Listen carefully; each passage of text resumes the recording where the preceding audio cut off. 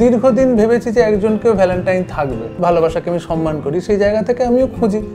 যদি এই বসন্তে কেউ জুটে যায় আমি বাউন্ডুলে ঘুরি যে আমাকে বাসবে ভালো তার আকাশেই উড়ি।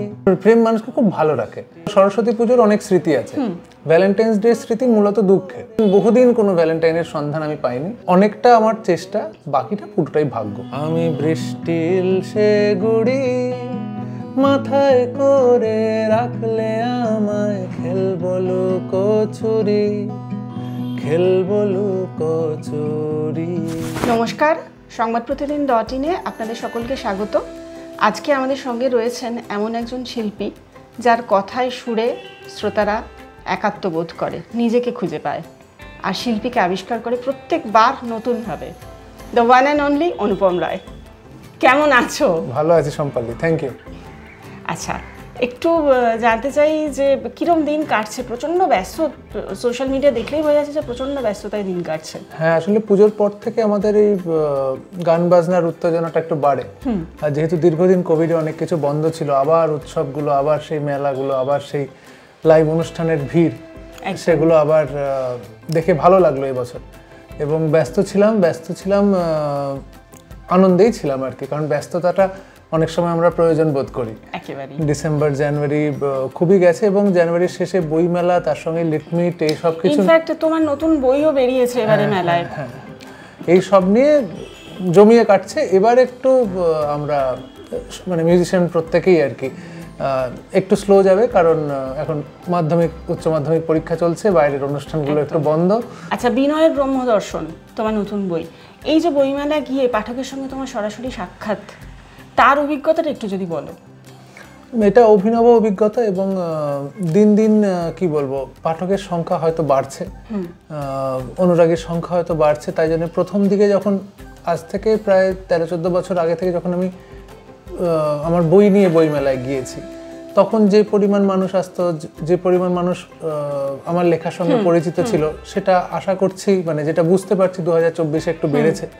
যার ফলে যখন বিনয়ের ব্রহ্মদর্শন বা ম্যাকি টু বা আমার কমিক্স নিয়ে অ্যান্টনির কমিক্স নিয়ে যখন আমি পৌঁছাচ্ছি মেলায় একটু বেশি উচ্ছ্বাস আমি দেখতে পাচ্ছি। তবে এই এতটা উচ্ছ্বাসের মধ্যে অনেকটাই ফেনা থাকে। ঠিক। আসল পাঠক পাঠিকা সেই সংখ্যাটা কমই হয়। একশো জনের মধ্যে যদি কুড়ি জনও পড়ে পনেরো জনও পড়ে সেটাও আমার কাছে গুরুত্বপূর্ণ। আমার মনে হয় এই ভিড়ের মধ্যে আসল পাঠক পাঠিকাও ছিল। আচ্ছা এই বছরটা গানের নিরিখে এবং হিটের নিরিখে তোমার দুর্ধর্ষ যাচ্ছে কি বলবে? মানে দু হাজার তেইশ হ্যাঁ হ্যাঁ হ্যাঁ। হ্যাঁ দু হাজার তেইশ সারপ্রাইজিংলি খুব খুব ভালো গিয়েছে। তার কারণ অর্ধাঙ্গিনী বলে যে ছবিটা কৌশিকদার সেইটা তো দু হাজার তেইশে বেরোবে কেউ জানতো না। তো কোভিডের আগে গানগুলো তৈরি ছিল এবং হঠাৎ করে সব পিছিয়ে যায়। লেখা ছিল ওগুলো এগুলো তো সব ভাগ্যের লেখা আর কি যে দু হাজার তেইশের জুন মাস জুলাই মাস ওই সময় বেরোবে এবং গানটি জনপ্রিয় হবে। তারপরে শ্রীদার সঙ্গে কাজ হয়েছে দু হাজার কুড়িতে একদম দ্বিতীয় পুরুষ। তারপরে দু বছর কিছুই হয়নি। হঠাৎ দু হাজার তেইশেই হলো দশম অবতার এবং সারা বছর আমি মূলত দশম অবতার নিয়েই কাজ করেছি। কিন্তু দশম অবতারের যে সাফল্য এতটা উচ্চতায় পৌঁছবে সেটা কি ভেবেছিলে? আন্দাজ করতে পেরেছিলে? না বুঝতে পারিনি। কারণ আমার কাছে গানগুলো খুব নতুন কিছু না মনে হয় তো এরকমই তো হয় গানগুলো। তো কোনটা হিট করে আর কোনটা হিট করে না বুঝতে পারি না আর কি। আমার কাছে খুব আলাদা নয় গানগুলো বাকি গানগুলোর মতন। এবার যেগুলো করেনি করেনি এটা করেছে। এবার এবং সেটা সত্যি দশম অবতারের গান ভীষণ ভীষণই জনপ্রিয়। এবং আমরা যখন মঞ্চে গাইছি আমার হয় যে পুরোনো গানের সঙ্গে নতুন গানও তো অ্যাড হতে থাকছে। সেটা আমার ভালো লাগছে। আমার মিউজিশিয়ানদের সবারই ভালো লাগছে যে নতুন গান হচ্ছে অ্যাটলিস্ট নতুন গানের সাফল্য খুব ইম্পর্টেন্ট আমাদের কাছে। কারণ আমরা তো চাই যে নতুন গান শোনাতে। এবং সেটার যদি টেকার্স না থাকে সেটাতে যদি আগ্রহ না থাকে মানুষের আমাদের একটু হতাশ লাগে। সেটা পেয়েছি তারপর হঠাৎ করে প্রধান চলে প্রধানে আমার কাজ করারই কথা আহ, হঠাৎ অতনুদা একদিন ফোন করে বলল একটা গান কর। সেই গান করলাম সেটাও মোটামুটি ভালোই বাসল লোকে এবং ছবিতে চমৎকারভাবে ব্যবহারও করেছে অভিজিৎ দা। আচ্ছা লাগাতার যে হিট দেওয়ার একটা চাপ থাকে যেহেতু তুমি একবার এতটা সফল হয়ে গেছো সেই চাপটা কীভাবে সামলাও বা হ্যান্ডেল করো? অ্যাকচুয়ালি যেটা বলছো সেটা সত্যি যে চাপ থাকে। প্রেশার টু ডেলিভার এবার আমি যদি চাপটা নিয়ে ফেলি তাহলে খুব মুশকিল। এবার কারণ আমি যে পদ্ধতিতে গান বানাই যেভাবে গানের জন্ম হয় আর কি সেখানে কিন্তু আমি আমি জানি আমার সবকটা গান যেগুলো জন্মাচ্ছে প্রত্যেকেরই ইকুয়াল ইম্পর্টেন্স কোন গানটা যে হঠাৎ একটু বেশি ইম্পর্টেন্স পেয়ে যাবে কোনটা যে পাবে না সেটা আমি বুঝতে পারি না। তাই আমি প্রেশার নিই না। আমি বানাতে থাকি। এই দু হাজার চব্বিশেও আরও প্রচুর গান বেরোবে। আমার কোনো বায়াস নেই কোনো গানের প্রতি কোনো ছবির প্রতি। অনেকটা আমার চেষ্টা, বাকিটা পুরোটাই ভাগ্য। বুঝলাম। আচ্ছা বাউন্ডুলে ঘুরি, ছবির জন্য আমরা দেখেছি অরিজিৎ সিং এবং শ্রেয়া ঘোষাল গেয়েছেন। কিন্তু দর্শকের চাহিদা, শ্রোতার চাহিদা এমন পর্যায়ে পৌঁছলো যে সেটার একটা অন্য ভার্সন রিপ্রাইস ভার্সন তোমাকে গাইতে হলো এবং সেটা মানে ভেসে গেল লোকজন পুরো। একটু যদি আমি এই নেপথ্যের গল্পটা বলো এই গানটা তৈরি কারণ আমি যতদূর জানি সৃজিতা বোধ হয় বেশ কয়েকটা গান বাতিল করার পর হ্যাঁ, আটবার না নবারে এই গানটা তুমি ডেলিভার করেছিলে। আসলে প্রেশার শুধু আমার নেই সৃজিতদার ওপরেও আছে। যে সৃজিতদা ভাবতে যে আমাকে এমন একটা অ্যালবাম আনতে হবে যাতে আর কি যেটা মানুষের ভীষণ ভালো লাগে। সেইটার জন্য আর কি এইটা দিলে মানুষের যদি অতটা ভালো না লাগে আরেকটু ভালো কি করা যায় না? এই চেষ্টাটা সৃজিতদার মধ্যে প্রচণ্ডভাবে আছে। এবং সেটা আমার মধ্যেও আর কি একটা কন্টেজিয়াস ব্যাপারভাবে চলে আসছে। কারণ শ্রীদার তো অ্যাপ্রুভাল লাগবে গানটা মানুষের কাছে পৌঁছানোর আগে। এবার কিছুতেই শ্রীদা স্যাটিসফাইড না হলে গানটা মানুষ শুনতে পাবে না। এই করতে করতে অনেক গান পেরিয়ে হঠাৎ বাউন্ডুলে ঘুরি জন্ম নেয়। এবং জন্ম নেওয়ার পরে সেটা তো অরিজিৎ শ্রেয়ার কণ্ঠে আমরা শুনি ছবিতে। আর গানের লিরিক ভীষণ কমপ্লিকেটেড কমপ্লিকেটেড কারণ জয়া অনির্বাণের পোর্শন আছে। তারপর হঠাৎ অন্তরাগুলো বুম্বাদার ওপর। এবার একটা প্রেমের অ্যাঙ্গেল আছে আবার একটা একা- একটা মানুষের একাকিত্বের অ্যাঙ্গেল আছে।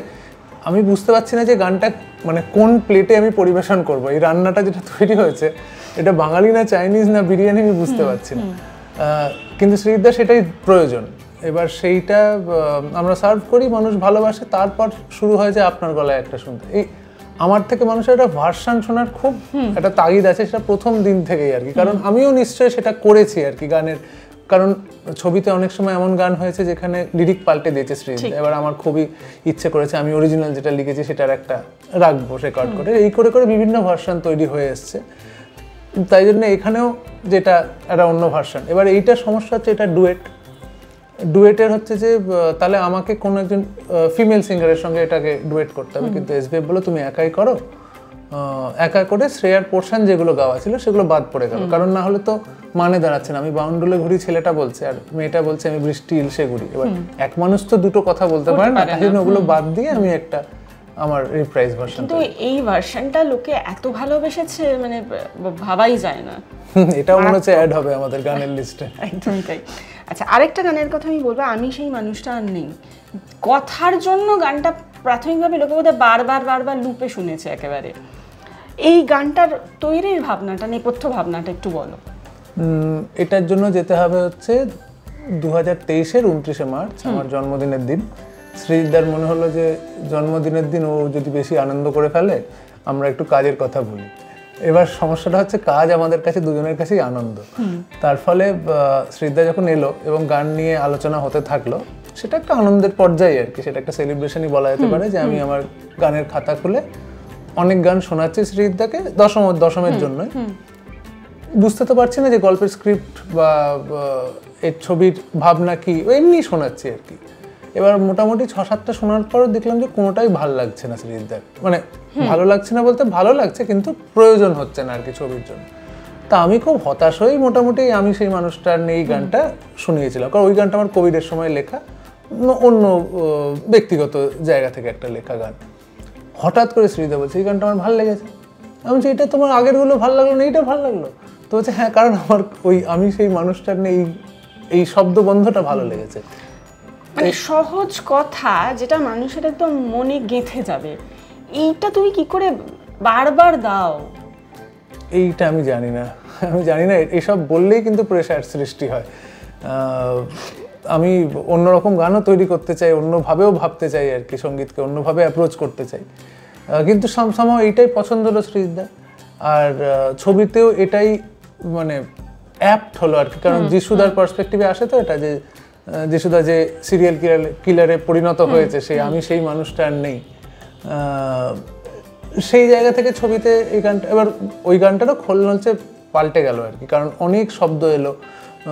আমি কিছুদিন আগে আরেকটা আহ, আরেক জায়গায় বলছিলাম যে গানের যে কোরাস পার্টটা আছে যে প্রলয়ের জলে আমি বান ভাসি প্রতিশোধ অভিলাষী হয়ে বারবার ফিরে ফিরে আসি। তা ব্যক্তিগতভাবে আমার যদি কেউ জিজ্ঞেস করে প্রতিশোধ? এই এটা নিয়ে এটা তো একটা বড় দার্শনিক জায়গা যে প্রতিশোধ নিয়ে কি আমার চিন্তা ভাবনা তা আমি খুব একটা প্রতিশোধ পরায়ণ মানুষ নই। আমি প্রতিশোধে খুব একটা বিশ্বাস করি না। কারণ আমি ওই জায়গা থেকে খানিকটা গান্ধীজির ফিলোসফি যে an eye for an eye makes the whole world blind আর কি। তা ওই প্রতিশোধ অভিলাষী আমি কোনোদিনই হতে পারব না। কিন্তু এখানে যে চরিত্রের জন্য লেখা হচ্ছে সেখানে প্রতিশোধ এবার সেটা লিখতে আমার হাত কাঁপছে আমার কারণ আমার হয় যে আমি খুব পার্সোনাল একটা জায়গা থেকে গানগুলো লিখি তো। আমি এই যখনই একটা সিনেমার জন্য গান লিখছি বা একটা চরিত্রের জন্য গান লিখছি তখন আমার মানে একটা দ্বন্দ্ব কাজ করে আর কি। কারণ আমার পুরো ব্যাপারটা হচ্ছে আমার সত্তাটা। সত্তা। এবার সেইটার সঙ্গে একটা ক্ল্যাশ হতে থাকে কিন্তু তাও আমি বুঝতে পারি যে এটা আমি প্রফেশনালি করছি আমাকে এত না ভেবে আমি জাস্ট কাজটা করি। হ্যাঁ, এবং সেখান থেকে প্রতিশোধ অভিলাষী হয় এবং তারপর এই এই গানটার তো অন্যান্য মানে কোরাসের অনেক কটা জায়গায় আর কি আছে যেগুলো সেগুলো পুরোপুরি ছবির কি। বুঝলাম। ব্যক্তিগত জীবনের ওঠানামা কি তোমাকে গান লেখার ক্ষেত্রে কিছুটা হেল্পই করেছে? ব্যক্তিগত জীবন তো ছোটবেলায় একরকম ছিল। বড় হয়ে যত দিন যাচ্ছে আর কি তত সেটা পাল্টাতে থাকছে। আমি তো গান লিখছি অনেক ছোটবেলা থেকে। আমি তেরো চোদ্দ বছর তো এবার তখন আমার মনের ভেতর কি হতো কিন্তু আমি সবসময় অনুভূতি প্রবণ আর কি এবং আমার মনে খুব সহজে অনেক কিছু দাগ কাটে। এবার সেই দাগগুলো কাটে বলে সেগুলো হয়তো গানে জন্ম নিচ্ছে কখনো লেখার মাধ্যমে জন্ম নিচ্ছে। সেটার একটা প্রতিচ্ছবি ফুটে ওঠে। সুতরাং আমার জীবনে যা ঘটবে সেটা আমার শিল্পের মধ্যে বেরিয়ে আসবেই। প্রতিফলনটা চলবে। আচ্ছা গান লেখার সময় তোমার বিশেষ কোনো চাহিদা আছে? মানে ধরো আমি বলছি যে খাতাতে লিখতে ভালোবাসো বা এরকম কিছু যদি বলো। যেটা প্রয়োজন সেটা হচ্ছে একটু সলিটিউড যে মানে গানের জন্ম তো একটা মুহূর্তের মধ্যে। হ্যাঁ। এবার আমি একলা ঘরে বসে গিটার হাতে খাতাটা সামনে হাতে একটা কলম সুর আসছে লেখার চেষ্টা করছি।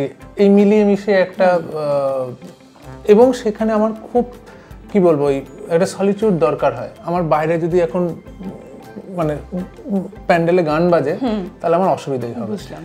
এবং পাশের বাড়িতে যদি খুব ঠকাঠকি হয় তাহলেও আমার অসুবিধা হবে। আমার একটু শান্তি দরকার হয়। সেটা একটা পদ্ধতি। অনেক সময় এইভাবে বসে গান বেরোয় কখনো সারাদিন বসেও গান বেরোয় না। আরেকটা হচ্ছে কর্মব্যস্ত জীবনের মধ্যেও কখনো কখনো গান বেরিয়ে আসে। আচ্ছা। যেমন আমি যখনও কাপড় জামা মেলতে বারান্দায় গিয়েছি দুটো কাপড় মেলার পরেই হঠাৎ একটা শব্দ এলো হঠাৎ- একটা সুর এলো যেটা আর কি আমাকে একটা একটা চিন্তার ট্রেন অফ থটকে ট্রিগার করল। এবং সেই সময় আমি আর কি কি করে রেকর্ড করি কি করে লিখি আর কি সেটাও হয়। মানে ওই মুহূর্তটা তো ধরতে হবে তখন। হ্যাঁ, সুতরাং ওই মুহূর্তটা ওই শিল্প আর কি খেলা করে আমাদের সঙ্গে যে কখন ধরা দেবে আর কখন ধরা দেবে না সেটা আমাদের হাতের বাইরে। আমরা তপস্যার বেশি আর কিছু করতে পারি না। আচ্ছা কিন্তু তবু অর্ধাঙ্গিনী এবং দশম অবতার এরকম মেগা সাফল্য পর পর তারপর কি নিজেকে এক নম্বর মনে হচ্ছে অপ্রতিদ্বন্দ্বী মনে হচ্ছে? না না এই নম্বরে আমি খুব একটা বিশ্বাসী নই। আর কালকে জয়দার সাথে আলোচনা হচ্ছিল যে এই সংগীত জগৎ যদি ধরা হয় প্রত্যেকটা আলাদা আলাদা জগৎ আছে সিনেমার জগৎ সংগীত জগৎ খেলার জগৎ। সেখানে বিভিন্ন জগতে বিভিন্ন রকমের মানদণ্ড আছে। সংগীত জগতে আমি যেটা বুঝতে পারি একটাই ব্যাপার হচ্ছে we are all a part of a community এবং আমরা যে কজন শিল্পী নতুন কিছু করার চেষ্টা করছি নতুন গান তৈরি করার চেষ্টা করছি প্রত্যেকে এটা কমিউনিটিতে বিলং করি এবং প্রত্যেকেরই প্রয়োজন আছে। আমি একা বা ও একা এরকম নয়। এবং আমরা সবাই মিলে সমগ্র এই সংগীত জগৎটাকে যার যতটুকু ক্ষমতা সেটা দিয়ে এটা কন্ট্রিবিউট করছি। থাকছে যখন যার যেটা ভালো লাগছে সে সেটা শুনছে। এর বেশি কিছু নয়। বুঝলাম। কিন্তু এভাবে বললে সেটা শুনতে সত্যি খুব ভালো লাগল। তবু একটু কি প্রতিদ্বন্দ্বিতা অনুভব করো না? ঠিক এটা না মানে স্পোর্ট নয় তো। মিউজিক তো অ্যাকচুয়ালি ইউনাইট করে। স্পোর্টে খুব ডিভাইড হয়ে যায়। যে এ ইস্ট বেঙ্গল ও মোহনবাগান। এবার সেখানে একটা প্রতি কার কত ট্রফি এগুলো খেলাধুলায় মানায়। তবু অ্যাকচুয়ালি ফুটবলারদের মধ্যে ওই ব্যাপারগুলো থাকে না। আজকে রোনাল্ডিনো গিয়ে মেসিকে জড়িয়ে ধরতেই পারে। ওদের মধ্যে মেসি এক নম্বর না রোনাল্ডিনো এক নম্বর এগুলো ওদের মাথা ব্যথা নেই মনে হয়। ওরা খেলাটাকে এনজয় করেছে। এবার গানের ক্ষেত্রে হচ্ছে আমরা সঙ্গীতটা যখন করতে এসেছি যখন প্রথম গান লেখার চেষ্টা তখন তো মনের ভেতর কিছু একটা হচ্ছে সেটাকে ফুটিয়ে তোলার চেষ্টা করছি। সেই সময় কোনো প্রতিদ্বন্দ্বী ছিল না। তখন আমার শুধু মনের ভাবটাকে ফুটিয়ে তোলার। এবার সেইটা কখনো যেন সাকসেস পেয়ে গেছে। এবার কখন সেটা মানুষ ভালোবেসেছে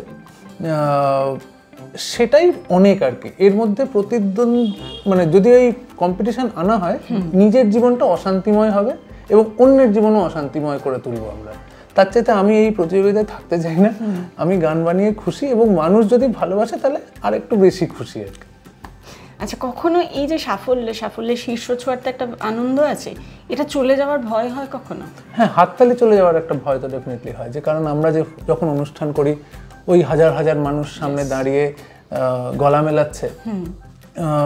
এটা তো একটা পাওনা। এটা তো সবার জীবনে ঘটে না। আমি যে জীবনে পেয়েছি তাই জন্য আমি এটার জন্য ভীষণভাবে কৃতজ্ঞ। এবার যখন পাইনি তখন একরকম জীবন ছিল। এই যে পেয়ে গেছি এইবার এটা হারানোর ভীষণ ভয় হয়। কোভিডের মধ্যে প্রচণ্ডভাবে দেখেছি যখন অন্য সময় আর কি আবার অনুষ্ঠান যেতে হবে ওফ আবার বেরোচ্ছি। এই ব্যাপারটা যখন নেই সেই অনুষ্ঠানটা তখন কীরকম একটা অশান্তি হচ্ছে।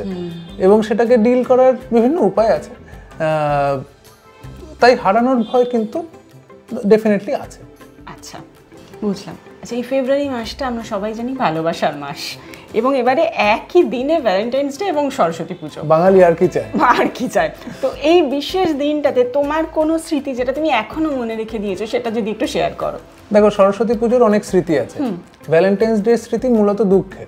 এবার সরস্বতী পুজোর স্মৃতি যদি বলা যায় আমার বাড়িতে সরস্বতী পুজো হতো আমার বাবা পুজো করতো। আহ, তারপরে আমার যখন পৈতে টইতে হয় তখন আমি আর কি অথরিটি পাই পুজো করার। আচ্ছা। এইবার তুই পুজো করতে? এক দুবার করেছি আর কি ছোটবেলায়। ওগুলো পুরোপুরি আর কি একটা ঘুষের মতনই আর কি। যে সামনে পরীক্ষা আছে যাতে এবং খুব ইম্পর্টেন্ট যে বইগুলো সেগুলো সরস্বতীর কাছে থাকবে আর কি। সেগুলো ছেলেবেলে ভীষণ আনন্দ করেছি। আহ, কুল খেতে না পাওয়া এবং সরস্বতী পুজোর পরে কুল খাওয়া এবং নৈবেদ্য কোটা হচ্ছে মানে সাজানো হচ্ছে মা যেগুলো করে দিচ্ছে। তো ওই সময়টা একটা অন্য আনন্দ ছিল। সরস্বতী পুজো বন্ধ হয়ে যায় পড়াশোনা শেষ তারপরেই সরস্বতী পুজো শেষ আর কি। কিন্তু তারপরে যেটা আকর্ষণ আসে আর কি সেটা ভ্যালেন্টাইন্স ডের আকর্ষণ আসে। এবার সেটা তুমি এক্ষুনি বলে যে ভ্যালেন্টাইন্স ডেতে বরং দুঃখের স্মৃতি বেশি। হ্যাঁ কারণ দীর্ঘদিন ভেবেছি যে একজনকেও ভ্যালেন্টাইন থাকবে। এবং ভ্যালেন্টাইনের প্রতি যে আকর্ষণ কারণ যে বিজ্ঞাপনগুলো আমরা দেখেছি আর কি টিভি টেলিভিশনে যে বিজ্ঞাপনগুলো দেখেছি সেখানে দেখে মনে হতো যে এটাই তো করতে চাই।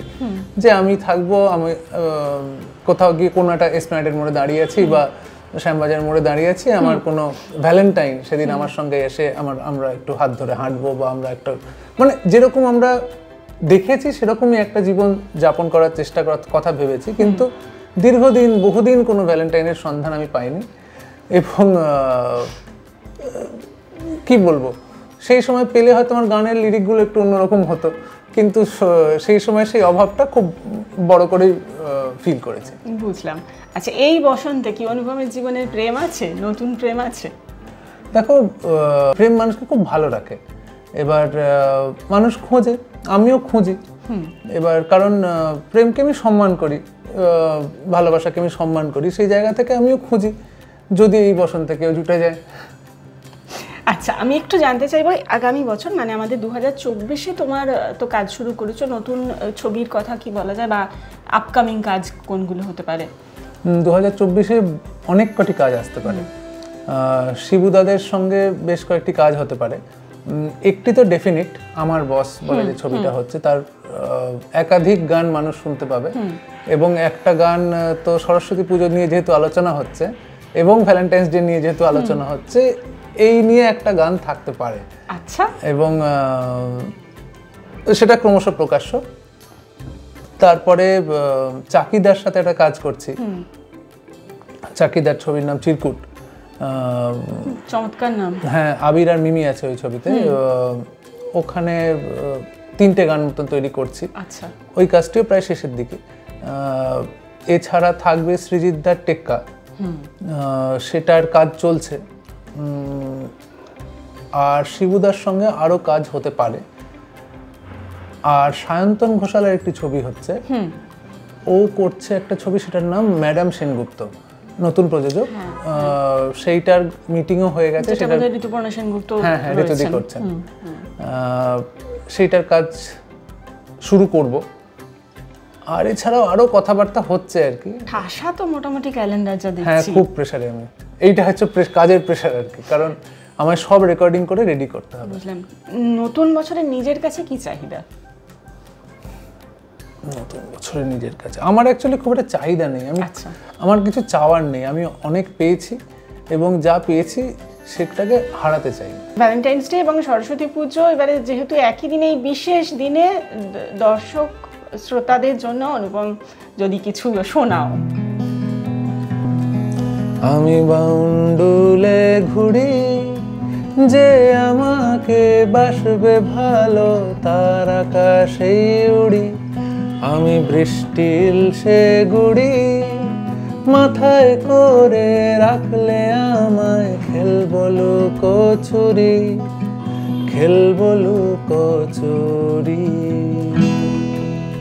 thank you thank you so much অনেকটা সময় আমাদের দিলে এবং চমৎকার একটা আড্ডা হলো। Thank you Sampali. খুব খুব খুশি হলাম প্রশ্নগুলো শুনে। আপনারা চোখ রাখুন সংবাদ প্রতিদিন ডট ইনে আমরা নিয়ে আসব এরকম আরও অনেক সাক্ষাৎকার আড্ডা এবং খবর। ক্যামেরায় প্রতিনের সঙ্গে রয়েছি আমি সম্পাদ